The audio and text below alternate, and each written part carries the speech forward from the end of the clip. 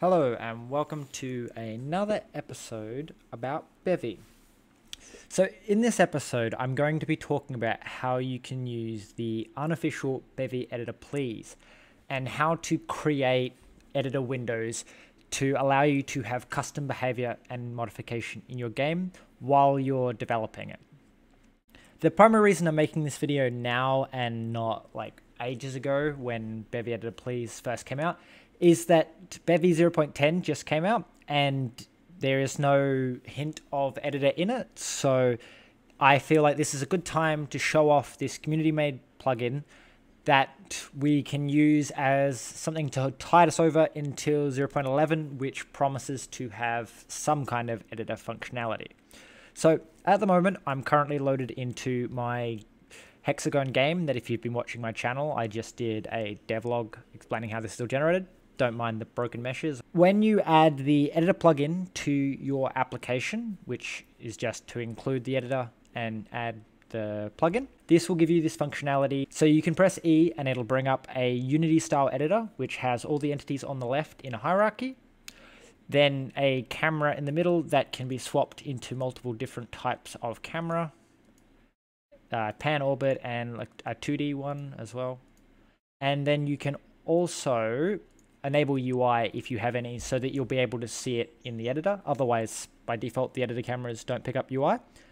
Uh, down at the bottom, you can see all the inspectable resources in your game. So if you have a resource that you need to just tweak values on, I believe anything that implements reflect will appear down here. You can also see like your assets, so images, color materials, and it just sort of gives you a way of knowing what's loaded. So if you're having performance issues or memory issues, you could go in here and see that like you have hundreds of materials, different materials loaded, and if your game is small enough, you may go, oh, that's not supposed to be there. Uh, then you've got some debug settings, such as the ability to pause the time. So if you have something that happens, like animations, that uses Bevy's built-in time resource, this will pause it. You can turn on wireframes, which looks hideous on this map but shows all the wireframes of different meshes. Uh, you can highlight selected entity, which is if like if I come down here, it's probably not going to work. Uh, if I selected an entity, uh, like a chunk, it will uh, highlight it on the world. You just over there. So as you select different chunks, or as you select them in the hierarchy, it'll highlight them in the world. So Primarily what this video is going to be showing off today is making custom windows. So these are all the windows you'll... So if you go up here, you can open up all the windows that is currently available from the inspector. You can also add custom windows here. So this is where I can put my map descriptor, which lets me change the noise settings I use to generate this map, the seed and all that information. So if I you know tweak the seed, uh, the rules I use in order to specify what cell each section should be after generates. I then have a like a drop down that lets me generate what the rules look like. So if I tweak and say that mountains need slightly more high humidity, uh, slightly I guess slightly less humidity, will make and it'll make this mountain range wider. If I say that they can have even higher humidity, it'll make it wider. So this is just a representation of the rules that I've specified. Then you've got the noise texture here, which just generates the humidity map and the temperature map and a combined map. I can clear these away. And then I have a biome map that when I click draw will show me what the world should approximately look like when generated. And I've got it set so if I press F5 it will regenerate the world. But because regenerating the world is very slow because it needs to do all the waveform collapse mathematics, having the ability to quickly sample what a seed will give me is a good way to, you know, sort of test and be like, uh, what's this map going to look like, you know, and then what's this map going to look like. Obviously, this would be faster if it wasn't generating chunks because that saturates the cores. But for this video, I'm going to show you how I implemented that window so that you can go about implementing your own custom editor windows. So if I drop out of the game and into the code, so this is where my uh, map generation code is dealt with, which contains like all the uh, simplex noise and whatnot that I use to generate the map. I then have my rules here, and this is where the first step of adding inspectable stuff comes in, is it has to derive reflect because that's how the inspector actually knows how to display everything is using reflect. All the versions of the inspector before the 1.10 release uh, required a special inspector trait. They could use reflect, but it had an inspector in trait on top. That's been removed for purely being reflect based. Then there is also the inspector options. This is what allows me to specify things like the minimum and maximum value that floats can be. And then I ignore certain values in reflect since they don't reflect themselves, such as this um, hex cell doesn't have a reflect implementation, neither does color or string. So these values are ignored in reflect so that they don't turn up in the inspector because it doesn't like not having reflectable things. Then when we pop over to the actual inspector window that I generate, the first thing I need is a placeholder struct that just contains all the logic for the specific window.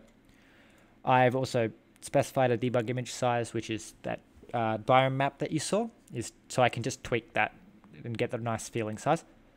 So then we implement the editor window trait. This trait allows us to specify what state represents the information that we need in order to render our window correctly.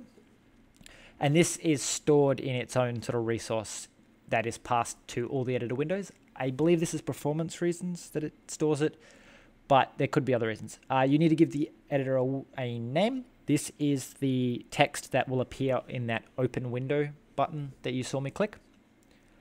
Then the only trait of this method that we need to, of this trait that we need to implement is the UI trait. This gives us access to the world, the editor's context, and the UI. So with that, we can do everything we need to generate our image and interact with the world. So if we want to have a button do something like spawn an entity, we can do all that through our mutable world access. One thing to keep in mind is because we have mutable world access, there can only be one editor window doing its logic at a time, which means that you lose all of Bevy's parallel access if you do things through editor windows. This may be improved in the future, but currently you only have one editor running at a time, so single thread process, while the editors do their thing. So keep your expensive logic in Bevy's ECS, not in your editor window rendering code. So first thing I do is take my map descriptor, which was that pole and noise generator that I showed before, and I take that out of the world in order to allow it to have mutable access all over the place, since some of these functions require world access, and if they do that, then I can't have a borrowed reference to a resource. So I use resource scope, which takes the resource out of the world and lets me continue using the world without that resource. I don't know if I need to clone the context anymore. This was a bit of a holdover from the old version. But then I go into my uh, editor context and get my map gen window. And this will return the Windows state that I have specified. Otherwise, I return because something's gone wrong.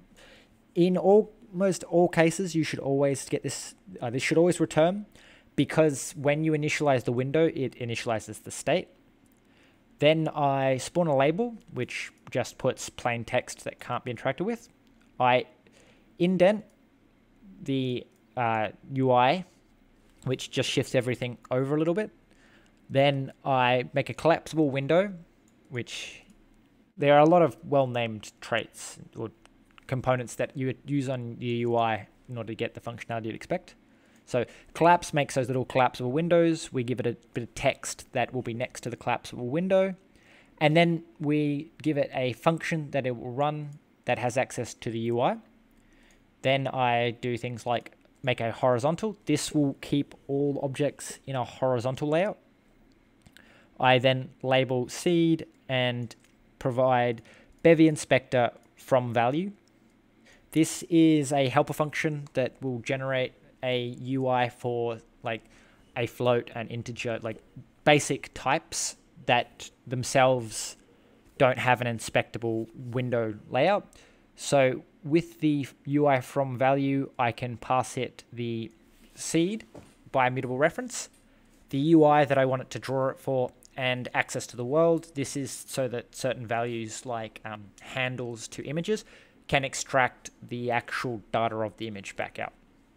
And so will uh, display an actual representation of the image. It returns a boolean if the value changes. So if you edit this value, it will return true, which will then cause us to update our noise with the new value that was returned. So this allows us to have our noise descriptor use the state's value and only update when it changes. We then repeat this process for each of the potential values that you can edit for my noise generation. And then I have a collapsible set of rules. And then for that, we basically iterate through each rule, making its own collapsible section with the name and the index, uh, or with rule and then the, the index. We then do some fancy if logic just to extract the color that should be next to the rule. And then we do some more logic like setting some labels if it's in debug mode for allowing rules and colors to be set. And then we use this color picker, which allows us to give a mutable reference to a EGUI color, and it'll give us that fancy color wheel that you get in um, like Blender and all that, that lets you pick what color you want the color to be. And then I just display the rule with its fancy uh, UI from value and pass it the rule, which then uses the description that we specified for it earlier to render that out to the screen. Then each of the images is just a collapsible box that has a button to draw the map, which has an onClicked method, which will return true when you click the button.